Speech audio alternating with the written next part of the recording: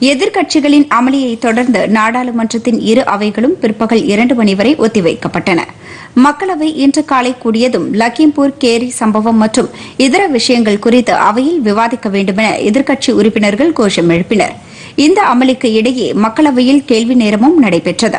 மத்திய உள்துறை இணையமைச்சர் அஜய்குமார் மிஸ்ராவை நீக்க கோரி காங்கிரஸ் திமுக மற்றும் திரிணாமுல் காங்கிரஸ் உறுப்பினர்கள் அவையின் மையப்பகுதிக்கு சென்று கோஷங்களை எழுப்பினர்.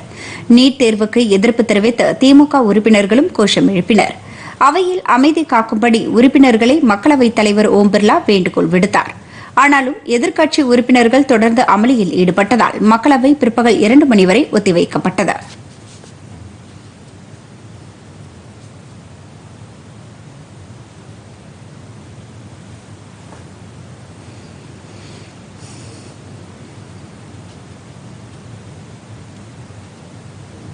மாநிலங்களவை இன்று காலை தொடங்கியதும் அலுவல் ஆய்வுக் கூட்டத்தை ரத்து செய்துவிட்டு லக்கிம்பூர் கேரி சம்பவம் குறித்து விவாதிக்க வேண்டுமென எதிர்க்கட்சி உறுப்பினர்கள் நோட்டீஸ் அளித்தனர். இதனை மாநிலங்களவைத் தலைவர் வெங்கையா நாயுடு நிராகரித்தார். இதைத் தொடர்ந்து காங்கிரஸ் திரிணாமுல் காங்கிரஸ் திமுக மற்றும் இடதுசாரி கட்சி உறுப்பினர்கள் அமளியில் ஈடுபட்டனர். இதைத் தொடர்ந்து மாநிலங்களவையும் பிற்பகல் இரண்டு மணி வரை ஒத்திவைக்கப்பட்டது.